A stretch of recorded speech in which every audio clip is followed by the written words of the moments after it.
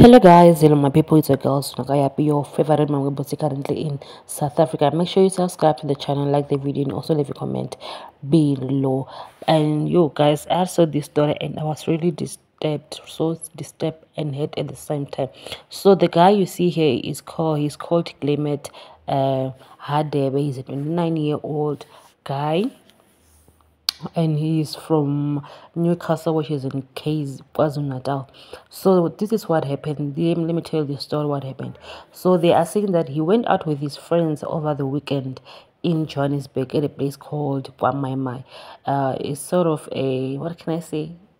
A eating place where people go there it's always full and packed and really famous right now in south africa so what happened when when he was uh, there with his friends three guys came uh, and joined their table and offered to buy them some drinks and what happened is that one, one of the guys uh, got interested in Clement because you can see he looks like a woman. It's really beautiful, as you can see.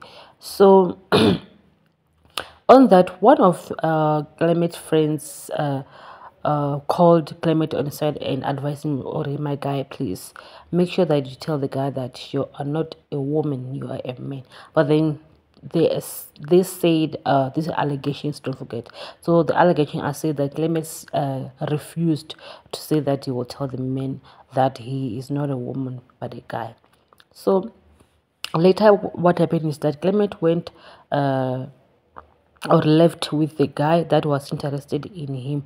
But then uh, the most painful thing that happened is that the following day he was found with nine bullet wounds uh, on his body. And people are really thinking that probably the guy was angered uh, when he discovered that uh, he's actually a guy not a woman. And after spending all that like guys i'm really hurt. Like what kind of uh life are we living? We know some people think that Clement deserved it because he shouldn't uh, have lied. Some say that he died for not being honest.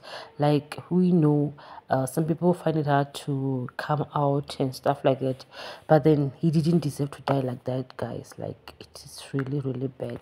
I'm really hurt by all this. Like okay, guys, I understand he wasn't honest, but then he didn't deserve to die like that. No and life is so precious that you don't need to take it just because of still silly things. So hey it's really hectic. Let's just protect each other especially uh, um gays and lesbians. They're going through a lot a lot. So guys what do you think? Do you think that he deserved it? Or maybe it's not worth uh, killing someone for so you just leave a comment below. Don't forget to subscribe to the channel. Like the video and also leave a comment below from your girls. And this is me saying peace. Till next time